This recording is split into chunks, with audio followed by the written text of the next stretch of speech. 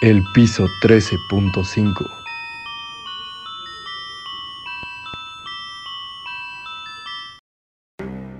Mikhail Viktorovich Popkov nació en una pequeña ciudad de Siberia llamada Angarsk en el año de 1964. Esto dentro de la antigua Unión Soviética. Es conocido con los apodos de El Purgador, El Maníaco de Angarsk o El Hombre Lobo. Poco se sabe de él, salvo que está casado con una mujer llamada Elena Popkova y tiene una hija llamada Ekaterina. Fue oficial de policía activo hasta 1998 en la región de Irkutsk y se desempeñó como guardia de seguridad en la Compañía de Químicos y Petróleos de Angarsk antes de ser detenido y pasar a la historia por ser el asesino en serie más prolífico de Rusia y uno de los peores en el mundo. Los crímenes de Popkov fueron motivados por sospechar que su esposa había cometido adulterio. Sus víctimas eran mujeres entre 16 y 40 años, principalmente prostitutas o mujeres jóvenes ebrias, personas que él consideraba inmorales, así como un hombre y un policía. En la década de los 90, Popkov, vestido con su uniforme de policía, atrajo a las víctimas ofreciendo a mujeres que se encontraba por el camino llevarlas a casa. Luego, solo castigaba a aquellas que aceptaban tomarse una copa con él. Las agredió sexualmente para después asesinarlas, utilizando diferentes herramientas tales como hachas, cuchillos, bates de béisbol, entre otros. Su objetivo era limpiar las calles de Angarsk de prostitutas.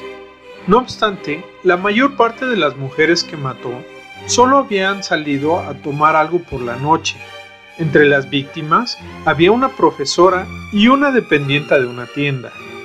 Él mismo se describía como un limpiador de la ciudad. Los cuerpos aparecían días después despojados de sus ropas y arrojados en medio del bosque, cementerios o en las carreteras. Solo dos mujeres lograron escapar a sus brutales ataques, aunque resultaron gravemente heridas. Mutiló los cuerpos de manera tan grotesca que los medios rusos atribuyeron los crímenes a un hombre lobo. La policía rusa participó en la búsqueda de un perpetrador cuando se descubrieron mujeres asesinadas por métodos similares. A pesar de las extensas preguntas y testimonios de víctimas sobrevivientes, Popkov eludió a la policía durante dos décadas. Los investigadores del caso descubrieron un patrón. Se encontraron huellas de una camioneta alada 4x4 un vehículo todoterreno utilizado por la policía rusa en numerosas escenas del crimen, lo que causó que se tomaran muestras de ADN a más de 3.500 policías jubilados y activos. Sus pruebas de ADN, junto con las de los cuerpos, fueron vinculados a los restos de ADN recogidos dentro del Jeep Nevada de Popkov. Al momento de su detención, en 2012, se creía que había dejado de violar y asesinar en torno al año 2000, aunque nunca se descartó que hubiera víctimas posteriores. Mikhail Popkov tenía una necesidad patológica de matar gente, explicó la oficina de la Fiscalía en un comunicado. El ex policía apareció en el tribunal vestido con un uniforme de la prisión y la cabeza gacha, según las imágenes de la televisión rusa.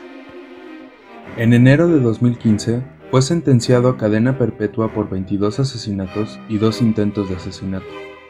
Dos años después, confesó 59 asesinatos adicionales.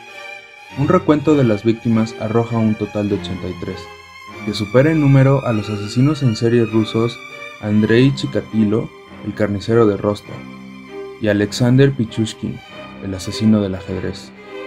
El 10 de diciembre de 2018, Mikhail Viktorovich Popkov fue condenado a dos cadenas perpetuas y enviado a una prisión apodada Delfín Negro, situada cerca de la frontera con Kazajistán, donde pasará el resto de sus días.